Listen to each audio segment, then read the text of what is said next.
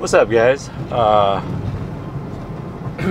absolutely was so sick this morning, and I, I think I found out because I never get sick, but I think it was because my humidifier was left on the entire night with no like set humidity, so it was just pumping out all the water that was in it. It was a full tank.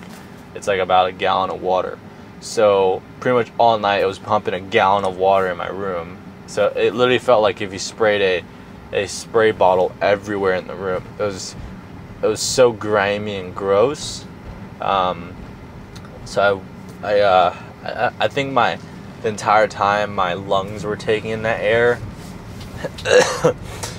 you know I don't know how good that is for you, um, but uh, I I woke up with a massive headache um, and like had no energy to do anything. I couldn't leave. I didn't leave my room until like one in the afternoon, and I, I couldn't sleep. I literally couldn't sleep. Um, it's terrible. It was really, really terrible. Um, so today, uh, I have really. I'm still recovering from it. Uh, I'm still gonna go to the gym though. I'm probably gonna do a bunch of sauna and steam room and such, uh, just for some recovery and I'll be doing a cold shower there. Um, yeah, I expect myself to feel amazing after, but it'll definitely help with my recovery. Uh, as far as the gym goes, I, I mean, I'll see how I feel at the gym, but I'll probably just do some stretching. I haven't stretched in a while, so I'll probably do some active recovery stuff. Even though it's Friday, I feel way. Uh, I'm, I'm pretty sleep deprived. Uh, like last night, I got terrible sleep. I didn't even know a humidifier until I ha- had to get up, um, and I was walking around, and it was like watery. It was like if you walked out and there was a bunch of dew in the, in the morning. Um, that's kind of how it felt. Felt kind of everything just felt a little slippery. Um, so that is definitely not good uh, at all. So I, I actually haven't searched up like what what it does to your body uh, because I was definitely in at least you know 80% humidity for a couple of hours really. Um, yeah. I don't know how good I feel but it was just going full blast all fucking night. So it's just it probably destroyed my my TV in my room. Um, but whatever. So uh that's that. Um, so I have we have tax season coming up. Uh, so last year for 2023, uh, I JV'd on a property in Atlanta uh, with. So I was I was the one who put up the capital uh, for the renovation costs and everything else like that, um, and paid for the cost seg. So uh, I think I put in about sixty thousand um, dollars, and I spent a long time actually looking for a nice sub two deal. I actually was looking for something closer to Houston, um, but it ended up being a lot farther out. I, I kind of wish it was in Houston, so you know, just like a place where I can come and, and sweep floors. Uh, but oh, there's a nice Rolls Royce right here. Black wheels, white pretty nice. Maybe you guys can see that when we're passing by. But like I said yesterday, um, I really like, uh, I would really like a matte black G-Wagon, okay? Or like um, a nice, and a Cybertruck for sure. Like, can't go wrong with a Cybertruck. And then like a nice sports car. Like that, that's gonna be my garage. And then like maybe a vintage, but you know, that's, that's farther along. Um, right now, it's all about stacking, stacking, stacking. Um, because I want to get to a point where I can like have a couple million in the bank after taxes. After taxes is, is something a lot of people don't talk about. After taxes is is uh, could be half of what you say. So uh, after taxes is actually a big flex so if you say I have a million after taxes in my bank account, that's pretty impressive. That means depending on the state you're in, you made at least a million and a half and up. You know, I, you you probably be paying more, um, probably somewhere around 500, thousand depending on how your structure is. But here's a mistake I made. So as soon as you make over like I think 70 grand now, this is depending on your state. Now for me, I operate in the state of, of, of Texas. I did my wholesale deals in Florida. Uh, the thing with me is that I made this huge mistake last year. I could have saved so much more money on taxes, even though I'm saving a lot of money on my depreciation and my write-offs that I have for my business. I could have saved so much more. Uh, probably gonna pay just a couple thousand for my taxes, even though I made like a ton of money this year or last year. This year's gonna be great. Here's my advice: if you're making over seventy thousand dollars in your wholesale business, whatever business, is that you should have an S corp set up. So it's like a holding company. You can literally name it your name. It's like if I named it uh, Andy Rong LLC. So what what this holding company does, from my understanding now, I I'm still very new to this tax game, so I may say something wrong here.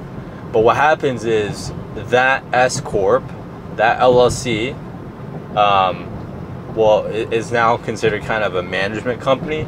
So own 100% of the LLC that you operate in uh, for, you know, where, where you transact uh, over $70,000 in. Because if it's not over $70,000, it's not worth that structure. Uh, but if you are making over $70,000 a year, uh, then it 100% makes sense to have that S corp structure. So, and that's like that's literally like seven or six six grand a month. Uh, so that's nothing. You close one client or you do one wholesale deal, even one wholesale deal, like that's easy, easy, easy money.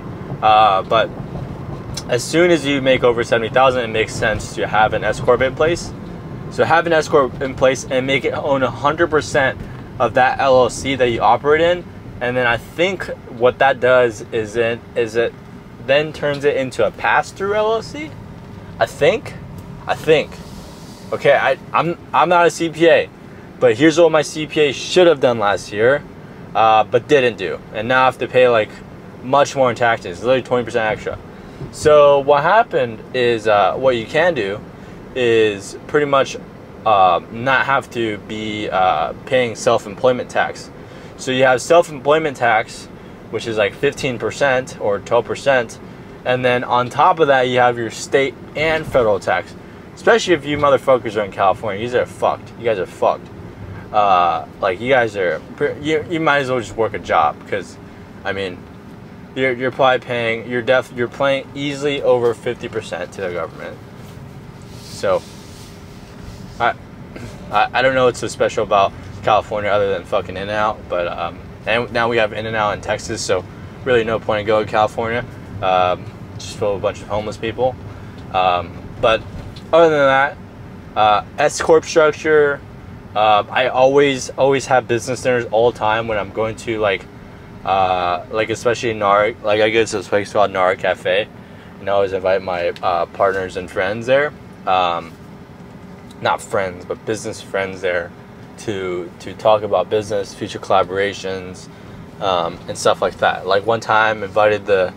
Uh, I always offer to pay for dinner if it's a client meeting or a business partner, uh, or if it's like an employee dinner. I'll bring my personal assistant out, and we'll have a, a dinner at Chama Gaucha to discuss, you know, future planning um, for the company and our goals and stuff. So, I I love having these meetings. It's great that they're a write off, uh, but a lot of times I I you know, people are like, you know, why do you, why do you pay for my dinners? Um, it's like one, it's a write-off because um, we are talking about business more than 50% of the conversation at the table, and it grants a lot of goodwill. Like one time, I was at this uh, mastermind event, and um, there was about 40 some people. There was a couple really important people. Um, and and I invited them all out, and then they what they thought it was a part of it. What they thought it was part of the event that was already hosted. It was like the last day of the event, and they thought it was like something like you know Jamil did. Uh, but actually, I was like, hey, let's all go to Chama Gaucha. You know, I you know I didn't even know I was actually spending the money on this, but everyone went. All my business partners went. Uh, everyone in my network went. 40 people there at Chama Gaucha. Now, mind you, Chama Gaucha is a nice Brazilian steakhouse, and it's at least 70 per 70 a person plus gratuity for 540 people. No, 40 people. Bill came out pretty uh, nasty, but I was like, the amount of goodwill this will generate you know, a lot of them may have forget it about now, but the goodwill that generates, like, no one will really want to talk shit behind my back. And if you do, you're fucked up. I know you're fucked up. Um, you're fucked in the head if you do, because uh, I mean, all, all I do is is is try to give as much give as much shit as I can. Uh, I never really ask for anything in return. Um, and when I do ask, it's it's uh, it's something that I've tried many times to figure out on my own, and I'm like, hey, you know, I have so much goodwill that I gave to this person, or this guy has so much goodwill for me that uh, you know probably has a, a favor I can, uh, or he has a he's a favor I can he, he can do for me. So um, always give, always be a giver. The the bill was like four grand, something like that. Um, one dinner, one dinner was four grand, uh, but it was forty people that I pretty much gave a thank you card for, um, all out, and it's just like those 40 people talk about with their friends in the business space and then then boom boom boom boom boom. It's like there we go. And yeah i'll see you guys later